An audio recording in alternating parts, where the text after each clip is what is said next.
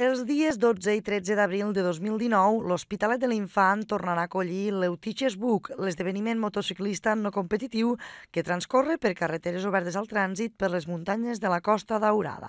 Per als interessats, des del passat divendres 30 de novembre ja són obertes les inscripcions amb un aforament màxim de 500 participants.